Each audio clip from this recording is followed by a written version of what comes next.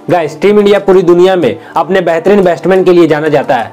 इसलिए आपने आईसीसी को ओडीआई के बैट्समैन की रैंकिंग में नंबर वन की पोजीशन में कई बार इंडियन बैट्समैन को देखा होगा। वहीं बात करें हम टीम इंडिया के गेंदबाजों की तो गिने चुने ऐसे गेंदबाज हैं जिन्होंने आईसीसी के बॉलिंग रैंकिंग में नंबर वन की पोजीशन को हासिल किया होगा। लेकिन 2023 में इंडिया के फास्ट बॉलर मोहम्मद सिराज ने आईसीसी की बॉलिंग रैंकिंग में नंबर वन की पोजीशन को हासिल किया है, जो कि टीम इंडिया और इंडियन फैंस के लिए काफ़ी ज़्यादा एक प्राउड मूवमेंट है। दरअसल इंडिया और न्यूजीलैंड के खिलाफ हुए वनडे मुकाबले में मोहम्मद सिराज ने यह मुकाम हासिल किया था।